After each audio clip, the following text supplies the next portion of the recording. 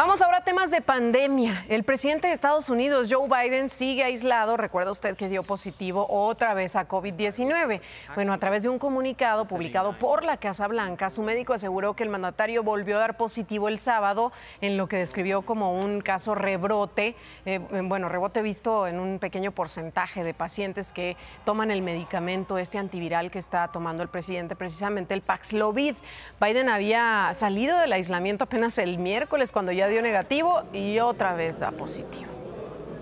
Vamos a España. Ahí científicos siguen buscando la fórmula única que acabe con la pandemia del coronavirus, pero las diversas mutaciones que ha ido sufriendo con el aumento de los contagios, pues eh, complican esta tarea. Por eso es que ya están trabajando en una vacuna pan-coronavirus o heteróloga, es decir, que combine diferentes vacunas anti-COVID y que podría ser la solución en un lapso corto, digamos, de tiempo. Expertos dicen que es la estrategia que se ha demostrado más efectiva para estimular al sistema inmune, especialmente a nivel celular, porque las células de memoria T son las que nos protegen de la enfermedad severa por COVID, que es precisamente lo que se debe evitar.